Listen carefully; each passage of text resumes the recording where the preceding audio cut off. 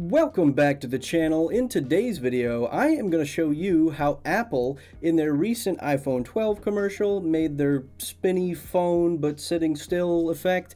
But since I don't have their budget, I'm going to be doing it with this janky looking rig right here.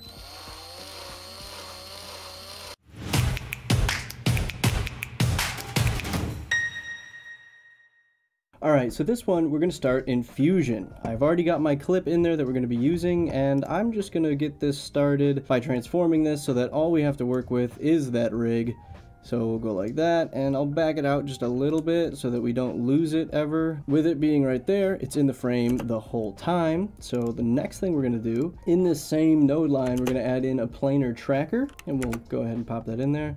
Can make sure that's in there by dragging it around and seeing if those lines move. If they don't, and it's out here somewhere, just go ahead, click on it, drag it, hold shift, and drop it on those lines, and then check it again. So for this, we're gonna come over, we're gonna do a track, we're gonna do hybrid point area, perspective is going to be just translation and rotation and then we want background right here and Luma should be fine. So we're starting right here. So to do this we're going to draw a box around the remote here and try to get as good as you can and then we'll set our reference time to the frame that we're on and we'll go ahead and begin this track to the end. That's done tracking so what we're going to do now is go ahead and check to make sure that sticks with it or pretty close to sticks with it for the whole track.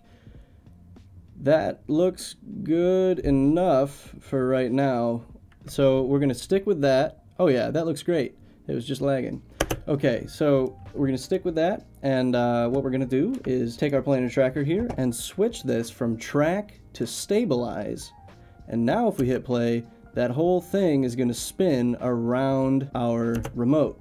So what we're going to do is add in a new transform node after the planar tracker and we're going to zoom in so that takes up our whole frame and now if we hit play everything spins around the phone. It's pretty sweet. It's It looks cool, uh, but it's pretty easy to do. So uh, go out there, make your own effects like this one, take these tools and change them completely, make your own thing, and uh, just have a blast. I'll see you tomorrow.